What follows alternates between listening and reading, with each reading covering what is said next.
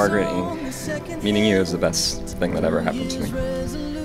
You've given me the best life I could ask for since knowing you.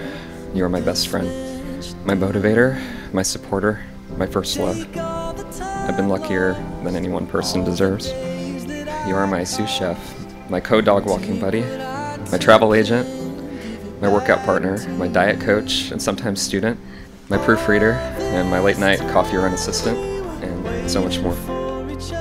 We are teammates in everything we do. We're stronger together. I used to be known as a person who rarely smiled, and I've smiled every single day since knowing you.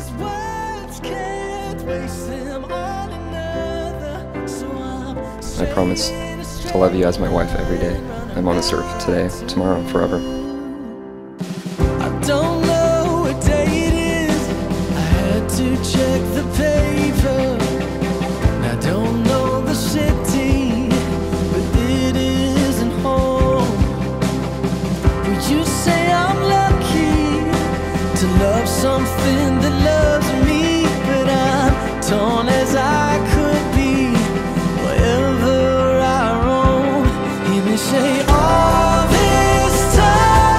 When I say I do, I'm saying I will love you for the rest of my life.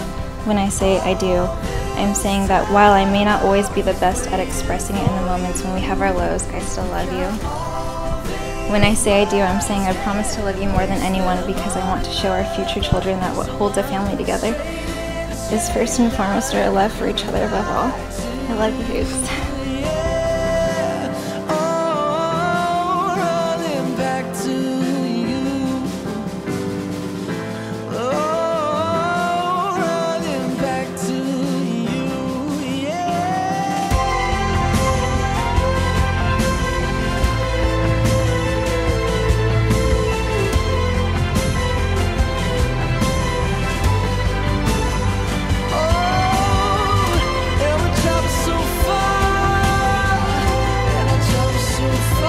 Ever since Ryan came into Margaret's life, okay, I've noticed a few things.